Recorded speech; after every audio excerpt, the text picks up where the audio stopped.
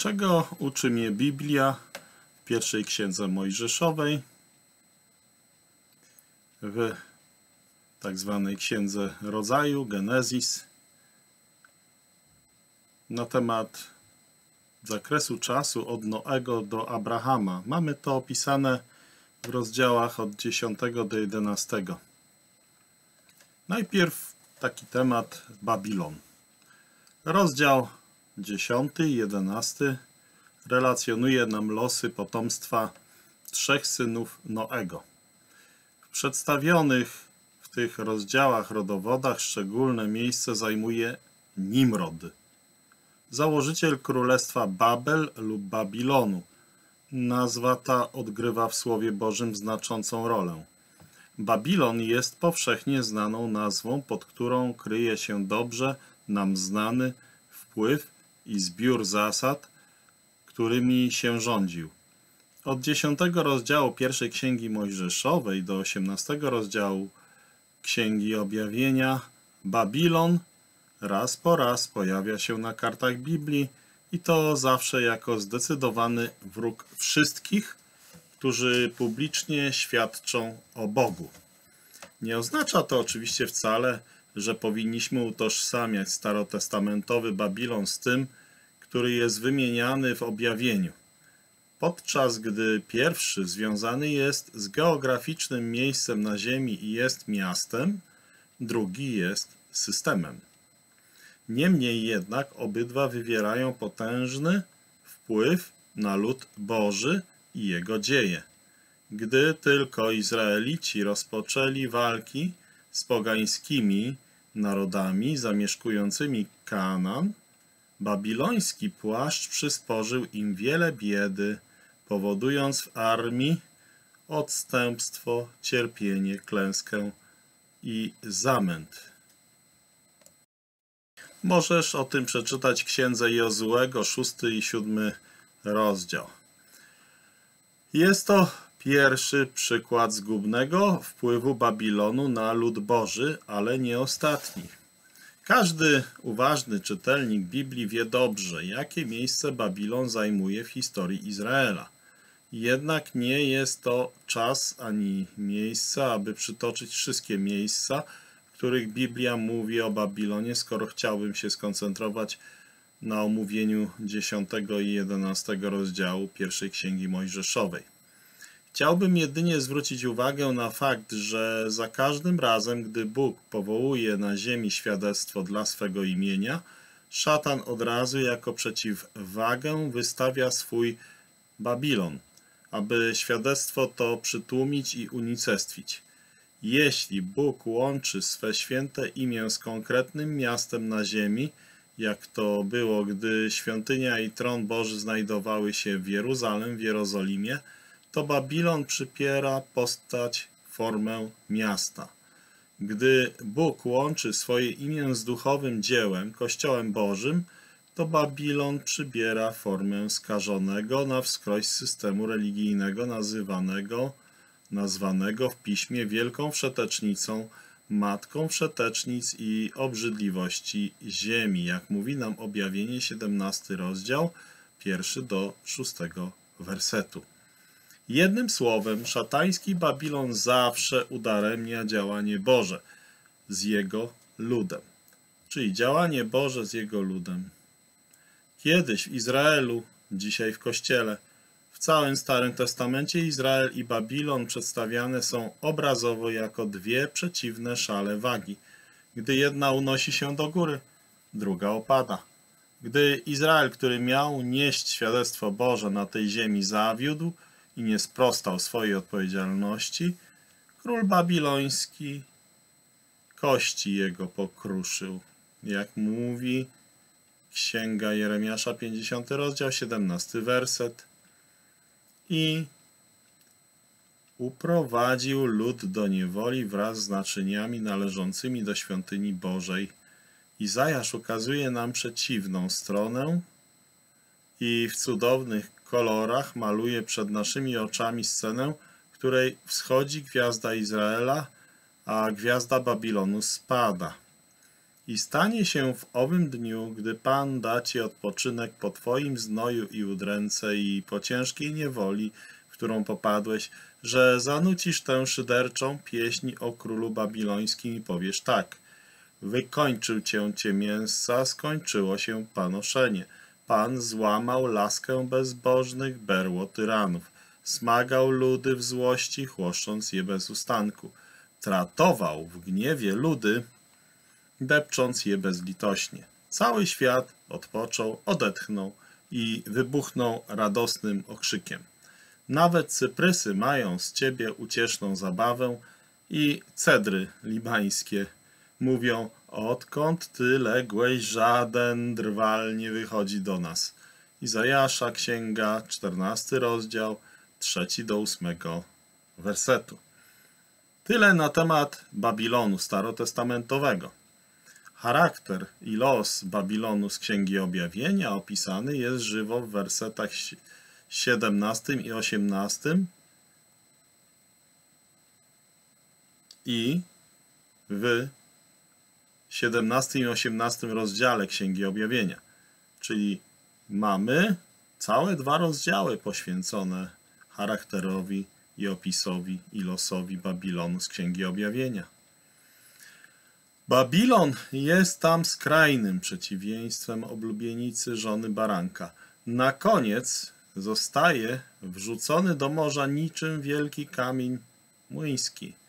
Bezpośrednio po tym wydarzeniu z wielkim błogosławieństwem i wspaniałością nastaje wesele baranka, a Kusz zrodził Nimroda, który był pierwszym mocarzem na ziemi.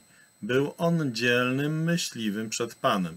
Dlatego mówi się dzielny myśliwy przed Panem jak Nimrod, a zaczątkiem jego królestwa był Babilon w Erech, Akkad i Kalne w kraju Sinear. Wersety 8 do 10, 10 rozdziału pierwszej księgi Mojżeszowej. W wersetach tych przedstawiony jest opis założyciela Babilonu. Był on mocarzem na ziemi, dzielnym myśliwym przed Panem. Taki jest początek Babilonu i jeśli w Słowie Bożym napotykamy Babilon, zauważamy, że jego charakter odpowiada w zadziwiający sposób jego źródłu. Babilon występuje zawsze jako znaczący, potężny wpływ na ziemi, który nieprzerwanie toczy wojnę ze wszystkim, co ma swoje korzenie w niebie. Dopiero gdy Babilon zostanie doszczętnie zniszczony, w niebie zabrzmi radosny okrzyk. Aleluja! Oto Pan, Bóg wasz, Aleluja! Oto Pan, Bóg nasz, Wszechmogący, objął panowanie, jak mamy to napisane w objawieniu 19 rozdział 6 werset. Wtedy to na zawsze skończą się pomyślne, udane polowania Babilonu, czy to w celu ujarzmienia dzikich zwierząt, czy zniewoleniu ludzi, czy zniewolenia ludzkich dusz. Wszelka moc i potęga Babilonu i jego wspaniałość, olśniewający blask i rażąca pycha, bogactwo i przepych, potężna siła przyciągania oraz rozległe wpływy ustaną na zawsze. Babilon zostanie zmieciony miotłą zatracenia i strącony w przerażające ciemności, strach i beznadziejność wiecznej nocy. Takim punktem charakterystycznym jest tutaj budowa wieży Babel. Cała ziemia miała jeden język i jednakowe słowa. Podczas swojej wędrówki ze wschodu znaleźli równinę w kraju Sinar i tam się osiedlili i mówili jeden do drugiego, nurze wyrabiajmy cegłę i wypalajmy ją w ogniu. I używali cegły zamiast kamienia, smoły zamiast zaprawy. Potem rzekli, nurze zbudujmy sobie miasto i wieżę, której szczyt sięgałby aż do nieba i uczyńmy sobie imię, abyśmy nie rozproszyli się po całej ziemi. Pierwsza Księga Mojżeszowa, jedenasty rozdział, wersety od 1 do 4.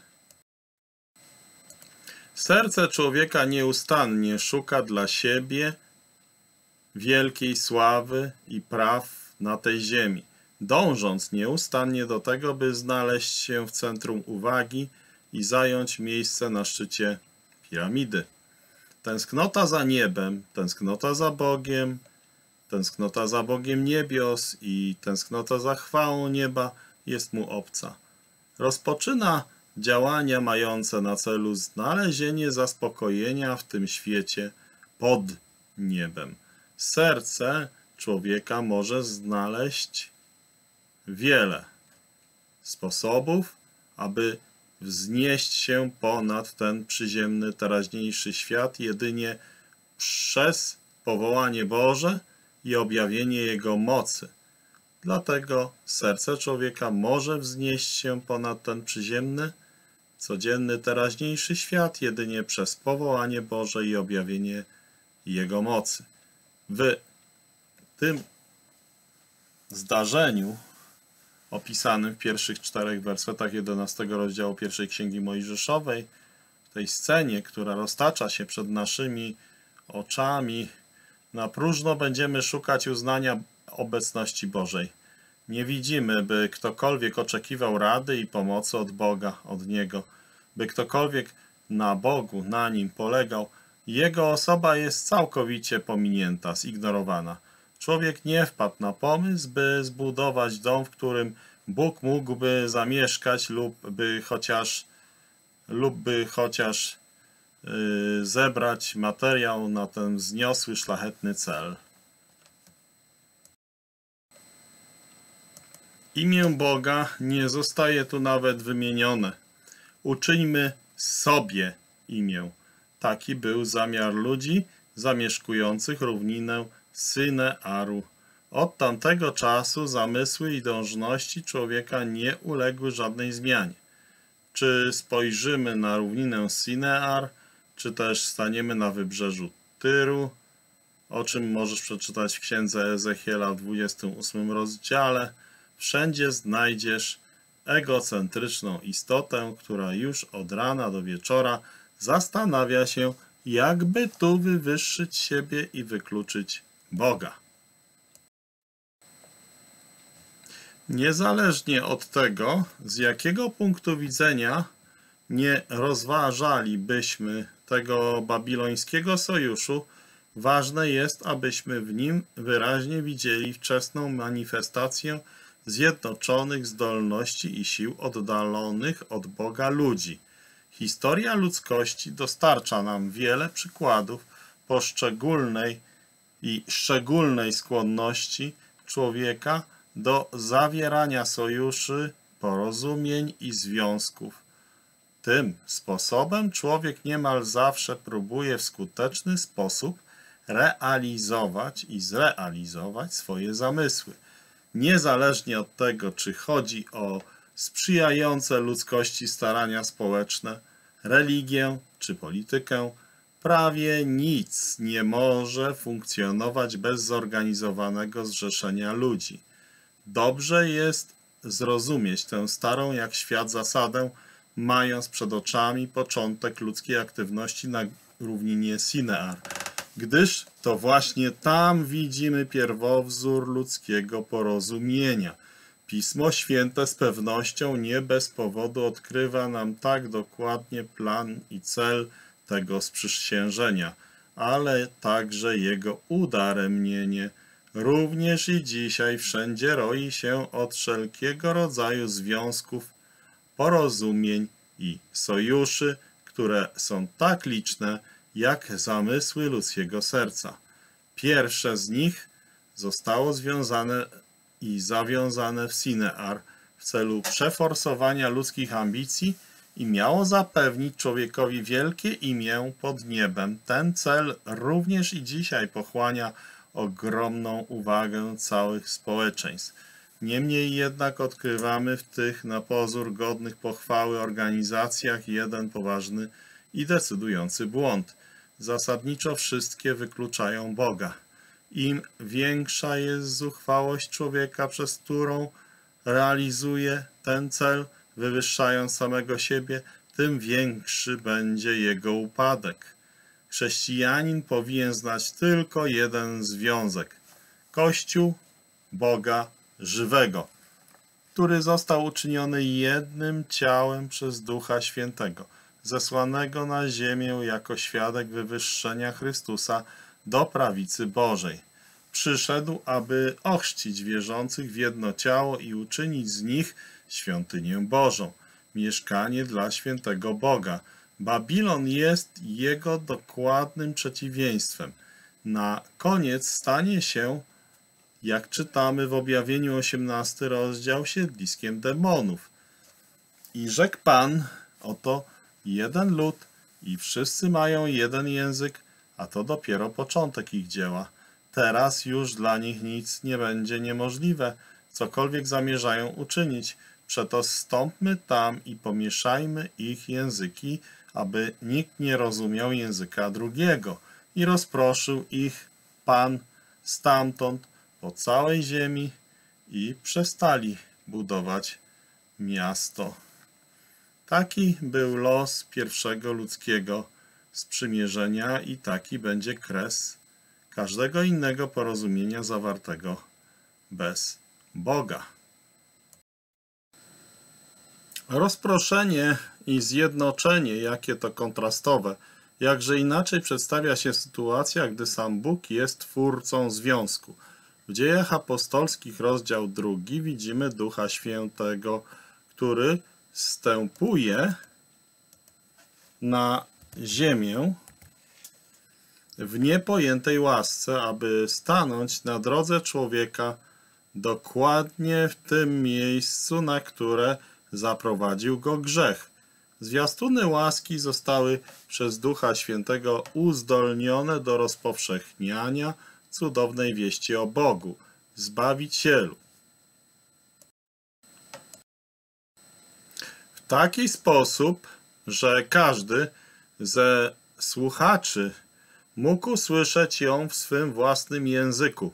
Cóż za cudowny, niepodważalny dowód na obecne w sercu Bożym pragnienie, by pozyskiwać ludzkie serca przez niepojętą wieść o Jego łasce. Zakon nadany na płonącej górze został ogłoszony w zupełnie inny sposób. Gdy Bóg mówił o swych sprawiedliwych roszczeniach, gdy tłumaczył, jaki powinien być człowiek, mówił tylko w jednym języku i do jednego narodu, ale gdy objawił, kim jest on sam, posłużył się wieloma językami.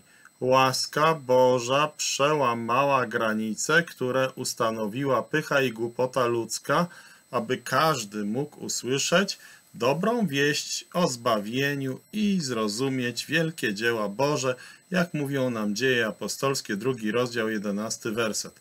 W jakim celu Bóg uczynił ten cud? Właśnie w tym, by zjednoczyć ludzi na Bożym fundamencie, wokół Bożego centrum i według Jego zasad.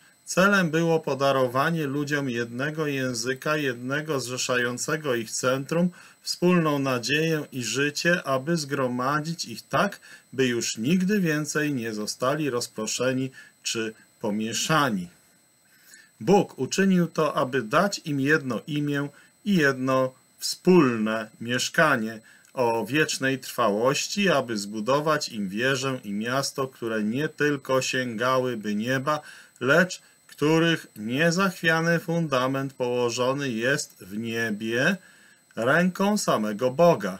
Uczynił tak, by skupić ich wokół zmartwychwstałego i uwielbionego Chrystusa, by zjednać ich wszystkich dla jednego wzniosłego celu, aby właśnie temu Chrystusowi przynosić chwałę i oddawać cześć.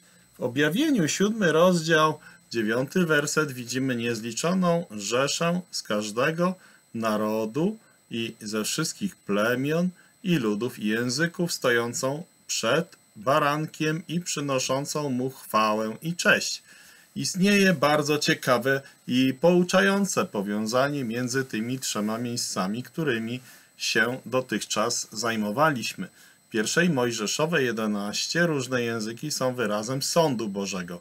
W dziejach apostolskich 2 są dowodem łaski, A w objawieniu 7 widzimy, jak wszystkie te języki są narzędziem do przynoszenia chwały w ręku zgromadzonych wokół baranka odkupionych.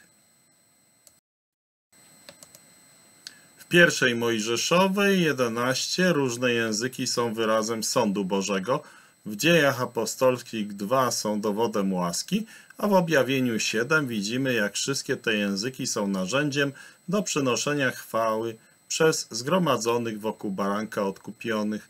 O ileż lepiej jest zatem znaleźć stałe miejsce w stworzonym przez Boga zjednoczeniu, to znaczy w Kościele, zgromadzeniu wokół imienia Pana Jezusa, niż w sojuszach ludzkich. Końcem tego pierwszego jest chwała niebios, a końcem tego drugiego rozproszenie i zamęt. Pierwsze ma na celu przyniesienie czci Chrystusowi, drugie oddanie czci człowiekowi i wywyższenie ludzkości w tej czy innej formie. Oby Pan Jezus Chrystus dał łaski, abyśmy podjęli właściwe decyzje, abyśmy pojęli te rzeczy i uchwycili się tych prawd w mocy wiary. Tylko w ten sposób są one w stanie przynieść duszy pożytek i zysk. Najbardziej interesujące prawdy i nawet najgłębsza znajomość pisma nie rozgrzeją serca, jeśli nie będziemy w nich gorliwie szukać Chrystusa. Jeśli już go znaleźliśmy i karmimy się nim przez wiarę, to otrzymujemy świeżość i moc, które są nam tak samo potrzebne w dzisiejszych czasach, dniach skostniałej formy. Jakiż, jakaż jest wartość? Jakaż jest wartość powierzchownej ortodoksji, jeżeli nie zna się żywego Chrystusa w całej sile oddziaływania Jego cudownej osoby? Bez wątpienia zdrowa nauka jest nieoceniona i każdy prawdziwy sługa Chrystusa będzie czuł się zobowiązany, aby zatrzymać wzór zdrowych słów, jak mówi nam drugi list do Tymoteusza, pierwszy rozdział, trzynasty werset. Ale ostatecznie to żywy Chrystus jest duszą i życiem, istotą i pewnością każdej zdrowej nauki. Obyśmy przez moc Ducha Świętego dostrzegli więcej piękna i wspaniałości w Chrystusie, abyśmy zostali do reszty uwolnieni od ducha Babilonu i jego bezbożnych zasad. Więc widzimy wyraźnie, że jest to bardzo ważne. Aby mieć Pana Jezusa Chrystusa, jeśli jeszcze nie jesteś pewien zbawienia, uwierz Panu Jezusowi Chrystusowi, a On sprawi, że będziesz narodzony na nowo. Uwierz Panu Jezusowi, Chrystusowi, a będziesz zbawiony.